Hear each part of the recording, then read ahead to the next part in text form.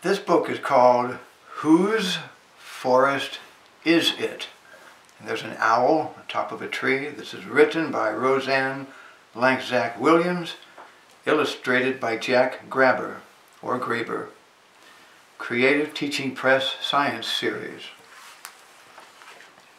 Whose forest is it? Question mark. It's a nice river at nighttime going through the woods in the forest. There's the owl, the bright moon, the full moon up there.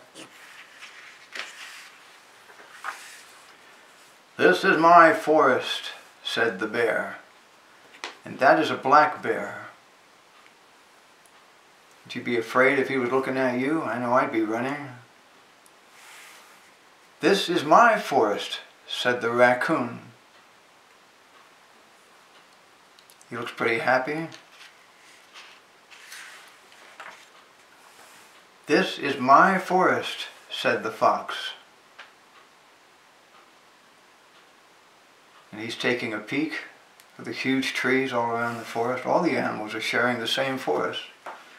This is my forest, said the rabbit, resting on a boulder. A lot of bushes and trees in the back. This is my forest, said the hiker.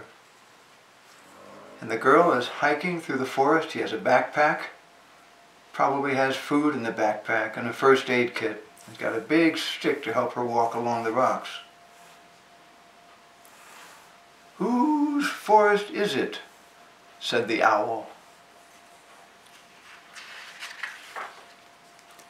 It's everyone's forest. There's the raccoon peeking out of a tree. There's the fox on a rock. The rabbit is just taking off. And there's the bear and the owl. And here comes the girl with the stick. Maybe she sees the bear, maybe not, and maybe they're all her pets. But they all share the forest. So this is whose forest is it?